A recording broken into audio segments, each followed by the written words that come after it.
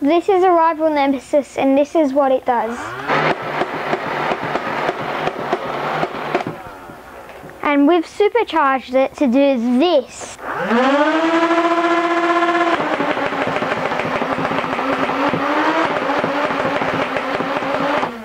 If you want to know how to do this, we're going to do it to this charger.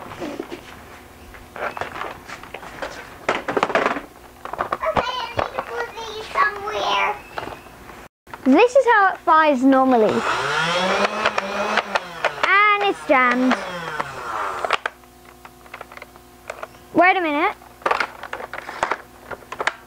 Jammed? Yeah.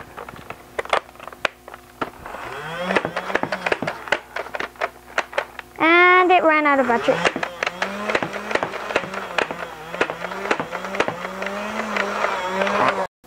Normally you put six D-size batteries in the Nemesis. Each battery is 1.5 volts. That gives us 9 volts in total. What we did is replace it with these 18650s. We put three of them in series and then we put another three in parallel with the first three.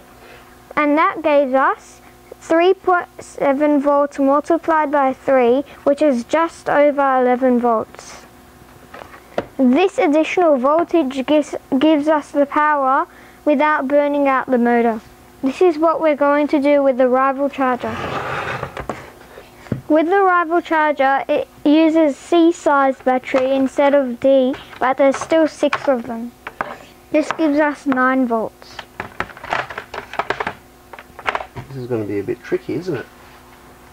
Maybe we can only use four of these. Uh, it needs three.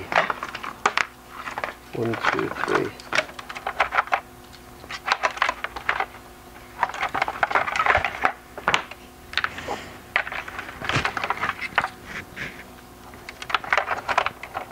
The rival charger uses six C-size batteries, which uh, which are both which are still 1.5 volts, which still gives us 9 volts.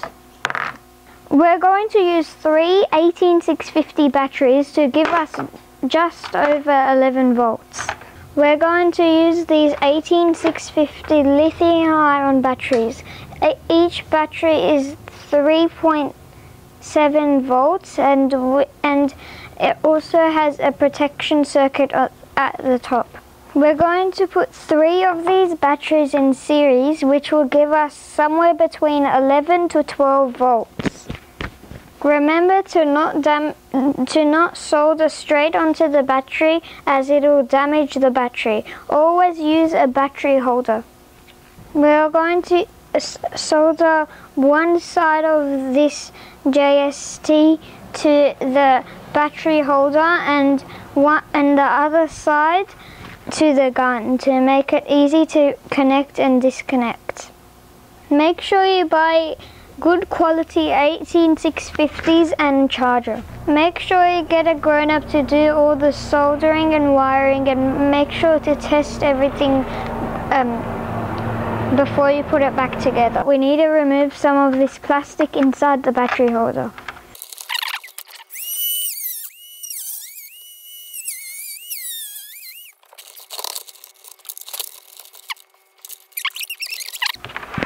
Now we need to actually open up this charger.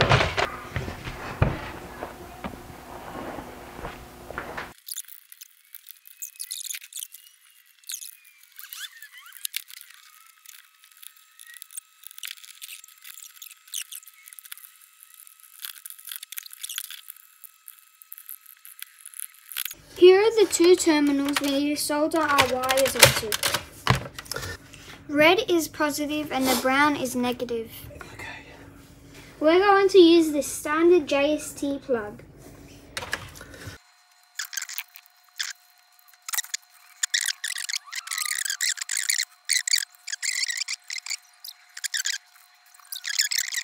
Now that I got the battery compartment ready, I'm going to solder these three holders in series.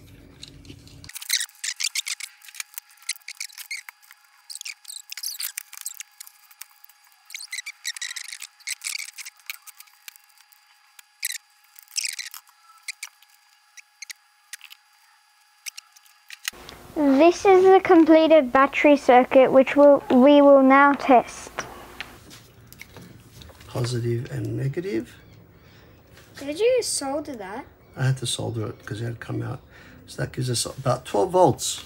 To simulate the voltage, we are going to use a voltage power supply. First we'll test 9 volts, then we'll test 12 volts. This is 9 volts.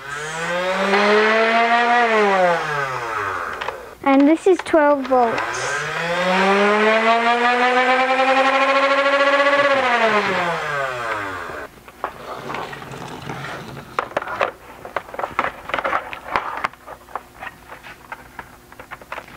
Test Okay. it first. Oh,